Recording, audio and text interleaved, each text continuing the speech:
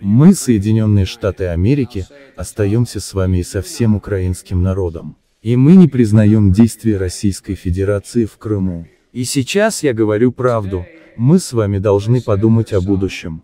Крым – это Украина. США не признают и никогда не признают так называемую аннексию полуострова России. Мы будем вместе с Украиной противостоять всем действиям со стороны России.